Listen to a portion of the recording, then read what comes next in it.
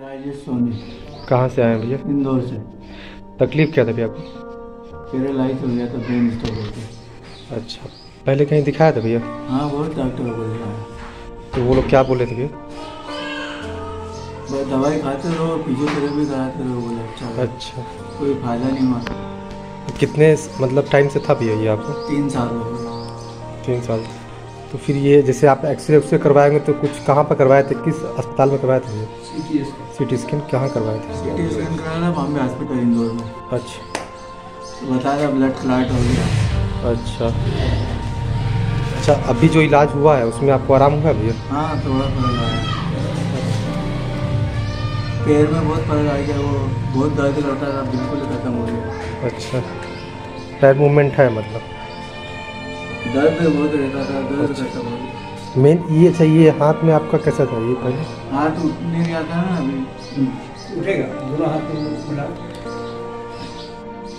सीधा उठाने सीखा। और मिट्टी को ऐसे ऐसे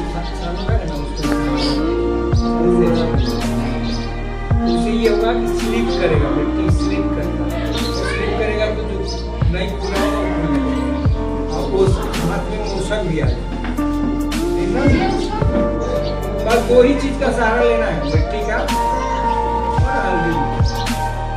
समझना और तुम जल गए। अब ये महसूस नहीं हुआ तुम्हें ये सब सूख रहा था तुम्हारा तो अब तो हाथ से पानी इसमें जाएगा, क्योंकि जब मोटा कर दिया तो पानी जाने लगेगा अब इसको केवल टाइम मिलाना सबसे बड़ा बात है में लेडी में बताई दिया तुम्हें तो उसने दोबारा देखना तो कर ही सकते हो।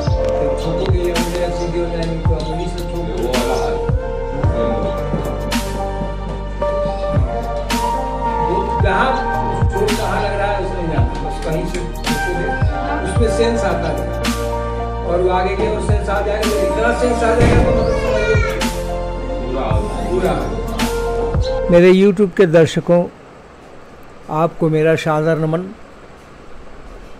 आप लोगों से आज कई दिनों बाद एक वीडियो लेकर के मिल रहा हूँ। मेरे मन में विचार चल रहा था कि आप लोगों को कुछ बताया जाए। देखो भाई, नकल तो बहुत बुरी चीज़ है। नकल के बारे में एक कहानी आपको बताते हैं। एक बुढ़िया एक भिखारन रोड पे भीख मांगा करती थी और उसी से वो अपने परिवार की गुजारा करती थी। वो इतना पर्याप्त पैसा नहीं पाती थी जिससे अपने परिवार का गुजारा कर सके, भरण पोषण कर सके। फिर एक दिन संजोग की बात है, उस रास्ते से एम एस हुसैन एक अच्छे चित्रकार जो थे वो गुजरे और उन्होंने बुढ़िया से, बुढ़िया को देखा। बुढ़िया बहुत रोई, गाई, अपनी दास्ता सुनाई कि मैं बहुत दिन से भीख मांग रहा हूँ और मेरी पेट नहीं भरती। मेरे बच्चों का पालन पोषण नहीं होता। मांगने पर भी, भीख मांगने पर भी, सारी इच्छाओं को मार देने के बाद भी हमें कुछ नहीं मिलता। तो एम एस हुसैन को दया आ गई और उन्होंने एक चित्र बना करके उसको दिया। वो सामने चित्र रख ली और वो मांगने लगी। उसके भी कई गुना बढ़ गए। अब उसके पास पर्याप्त पैसे भी आ गए। फिर एक दिन संजोग बस फिर हुसैन साहब मिले। तो हुसैन साहब से बोली कि ऐसा है कि दो चार चित्र बना करके हमें दे दीजिए। तो हुसैन साहब बोले कि भाई देखो, मुझे एक चित्र बनाने में जमाने लग गए। उसमें कितने मोड़ आए, कितने गलियाँ आई, कितने तकलीफ़ आए। सारों को हुनर में ढाला मैंने। उस हुनर से मैंने इसे बनाया। इतना जल्दी वो बन नहीं सकता। बुढ़िया सोचे कि हुसैन हमको फंसाया, हमको बहलाया और बुढ़िया खुद ही एक चित्र बनाकर वहाँ पर बगल में, हुसैन के बगल में रख दी। और हिशन के चित्र के बगल में रख दी। अब उसके जो जितने में आमद आते थे, वो घट गए और इतना कम उसका आमद आने लगा कि फिर हुसैन के पास गई। बोली, बोले, बेटा, मैं तो नहीं बना सकता। मुझे एक चित्र बनाने में जमाने लगते हैं। बोली कि आपके चित्र में क्या है? कि लोग इतना दान देते थे। और मेरे चित्र में क्या है? जो घृणा पर, घृणास्पद दृष्टि से देखते हैं और जो मिल भी रहा था, वो भी रुक गया। बोले कि बेटा, ये ऐसे नहीं होता। इसीलिए बताया, किसी काम को सीखने के लिए, हुसैन के काम को सीखने के लिए हुसैन चाहिए। तो मैं एक आर्ट ज़रूर दायरा किया। एक इंस्ट्रूमेंट तय किया। लेकिन किसी सर्जरी रूम में जा करके चक्कू ब्लेड कैंची तागा देख करके और किसी का सर्जरी करने लगे कोई इट इज़ इम्पॉसिबल उसके लिए उसको जमाने लगे। डिग्रियाँ हासिल करनी पड़ी। सारे एनाटॉमी को पढ़ना पड़ा। उसी तरह मैंने प्रकृति में जा कर के सारे चीज़ों को अपने में ढाला। ढालने के बाद देखने की क्रिया लाई। देखने की क्रिया के बाद सुधार की क्रिया के लिए मैंने एक जस्टिफाइड इंस्ट्रूमेंट तय किया और उसी से काम करने लगा और मेरा उस पर हाथ बहुत साफ़ है। तो इसमें हमें जमाने लग गए, बावन साल लग गए। अभी भी मैं अपने को परिपूर्ण नहीं समझता। आगे और सीखना है। सीखने का कोई अंत नहीं होता। तो भाई, गलती से कोई लोटा किसी के पेट में बादन में, दामन में कहीं खींच न दे, नहीं तो दुर्घटना हो जाएगी। इसलिए मैं आपसे यह बात कहा। कि इसका जिम्मेवार लोटा बाबा नहीं होगा। देखो, ये इंदौर का एक रोगी है, आया, मैंने देखा। ये हार्डनेस इसकी ज़्यादा हो गई है। ब्लड में उतना पानी की मात्रा लिक्विडेशन नहीं है। फ्लैश में एयर और पानी की मात्रा जितनी होनी चाहिए, उतनी नहीं है। देखा टेम्परेचर इसका ज़्यादा है टेम्परेचर कम नहीं है। ये भी मैंने जस्टिफाई किया। फिर उसकी सारे एरर को देखा।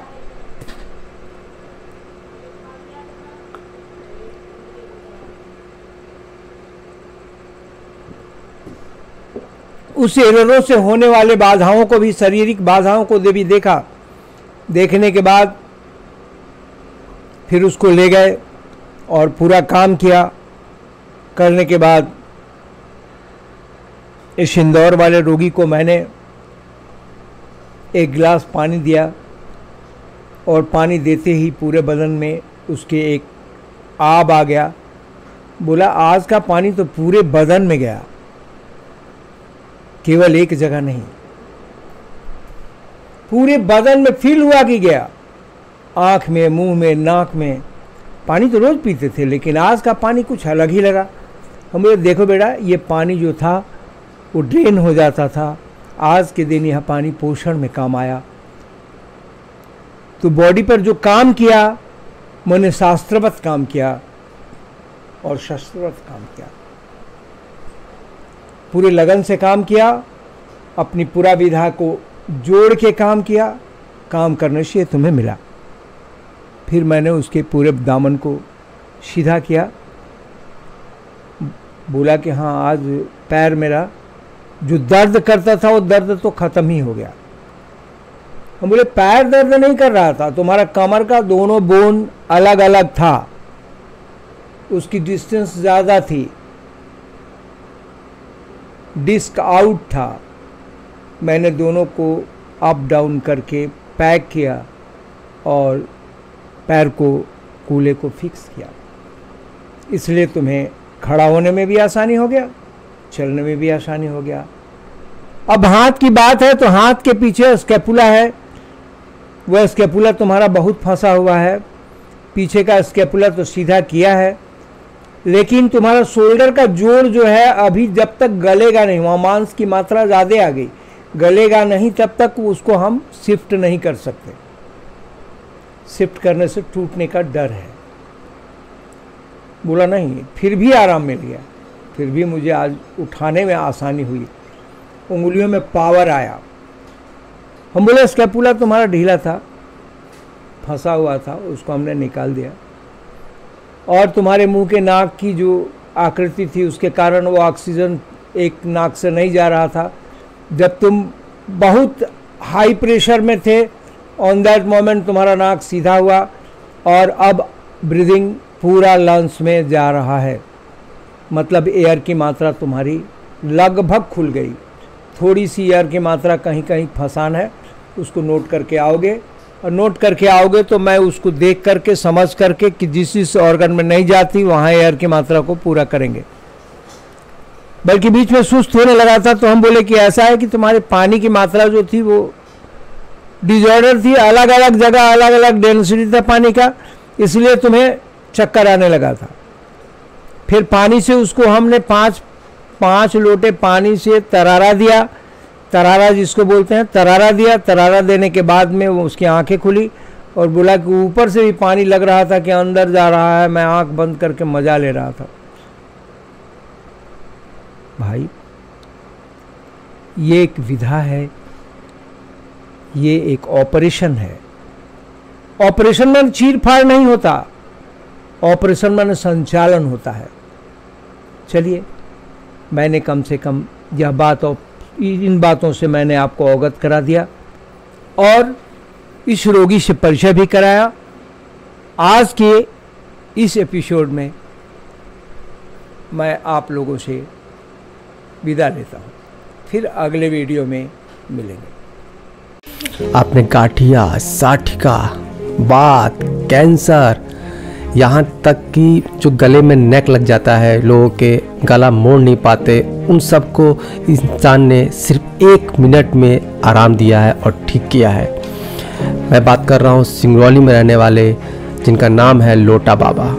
उन्होंने खुद उस बीमारी का बीमारी का पूरा अध्ययन किया, समझा, जहाँ पर लाखों करोड़ की दवाइयाँ हैं, वहाँ छोटे से जड़ी बूटियों को पानी में मिलाकर लोटे का प्रयोग करके इन्होंने उस बीमारी से लोगों को मुक्ति दी। आज बहुत से लोग हैं जो इस इलाज से आराम पाते हैं। नहीं तो इतनी महँगी दवाइयाँ और डॉक्टरों के फ़ीस से बेचारे उलझे रह जाते हैं।